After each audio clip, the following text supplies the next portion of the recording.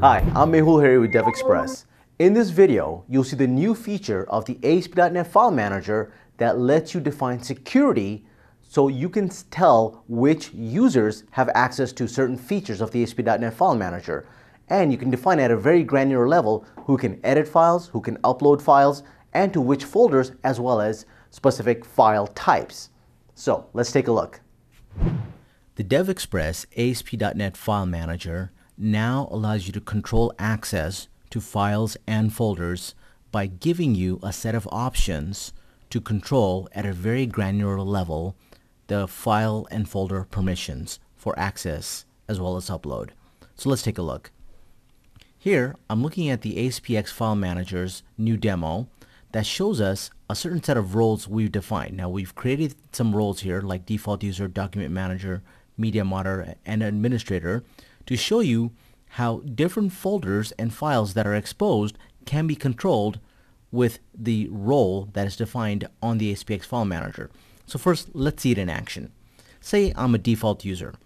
If I just want to show some files to the default user, I can use this role to say they can browse at the different files, but they can't actually edit anything or upload any other files. Now, let's say I switch over to the document manager role.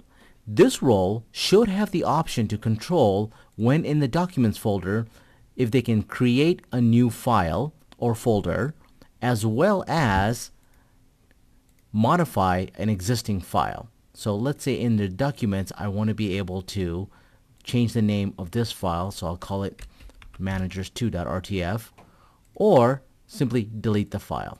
Now I don't want to delete the file so I'll hit cancel.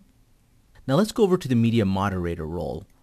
Now this role I want to define so that they only have access to the media folder and not to the documents folder. So while I'm still in the document folder, we can see that now once we apply this role, the document is not able to be edited at all.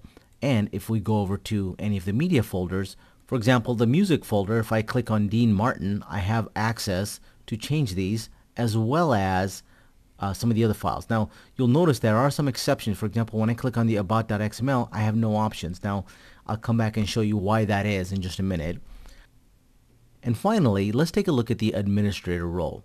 This role allows the user to define and look at items that are not available to any of the other roles. So for example, one of the new folders that appeared when going to administrator was the system folder.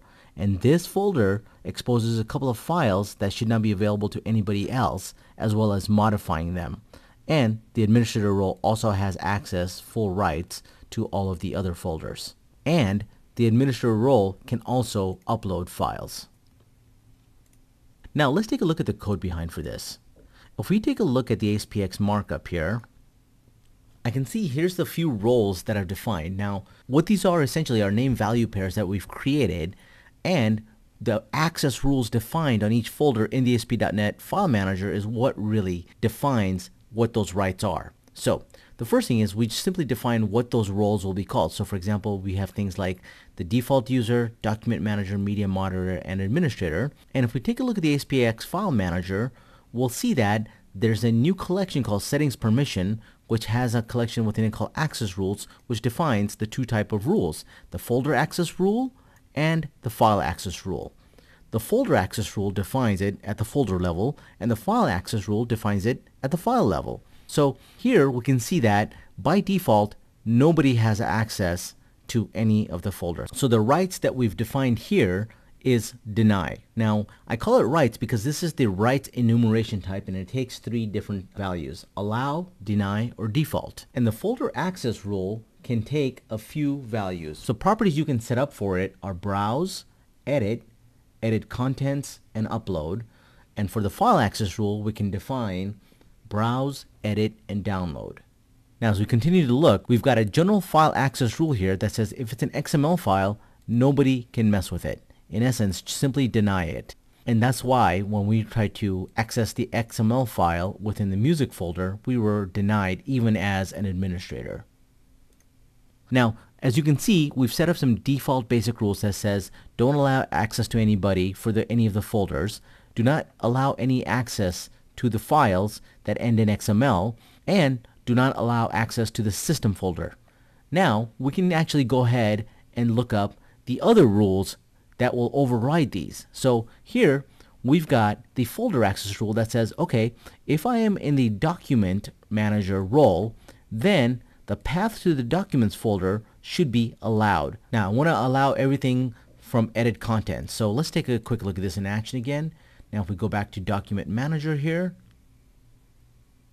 and go to the documents folder, I can see not only can I edit these items, except for the XML file, I can also upload. So the edit content allows me to upload and I still have access to define what type of extensions get uploaded and so forth.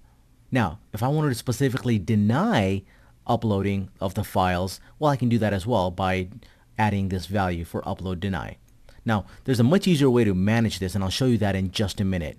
Now, we've got another folder access rule here for the music folder that says if it's a media moderator role, then allow it contents to the music folder as well as the video folder.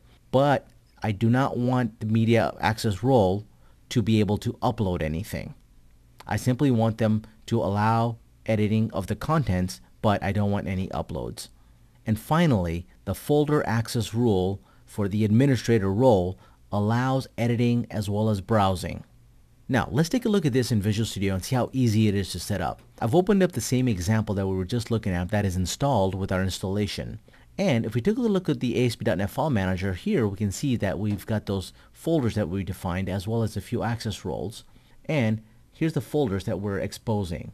Now, I want to define some of the permissions for these. So if we take a look at the properties, what we can do is in the design mode, click on the smart tag of the ASPX file manager and click on access rules. And this will bring up the access rules editor for the ASPX file manager. Now here, right away we can see that there's two rules that we can define, a file access rule and a folder access rule. So we've taken a look at all the different five access rules that we've seen so far. So the default one being that I want to deny any editing of any folders. Then a file access rule comes in and says, okay, for anything ending in XML, I want to deny edits on it. And one more for the system folder that says deny any access, browse access to it.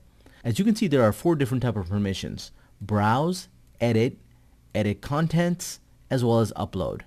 And here, we've now gone ahead and defined specific access rules for folders for these specific roles. Now, let's say I want to add a new rule in here. Say I want to add a new rule for the document manager to not show any RTF files.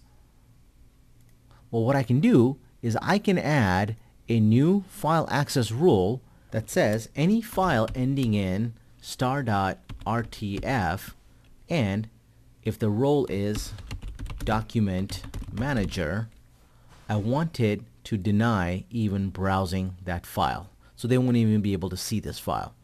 Now I'll click OK. Let's save it. Let's rebuild it. Now let's see it in action. Now when we switch over to the document manager role, and I go to the documents folder, I can see that I have no access to view any of the RTF files. And I'll see that if I go to the administrator role, the RTF file certainly exists there, but because I added the new access rule, I'm not able to actually see that value. Now, as I mentioned, this can be done per user. So for example, if in your database you load a user information and save this role, you can easily apply it to the ASPX file manager by using its role property. So if you look at the settings permission, you have the access rules collection we just looked at to the access rules editor, as well as role. Now for this demo, we're setting the role from code behind because we have several to demo. But you can just as easily set it through the designer as well as through code behind. So as you saw, you can define at a very granular level the folder rules as well as the file access rules. Now, this will be part of the ASPxperience Suite in the 2011 Volume 1. Thanks for watching.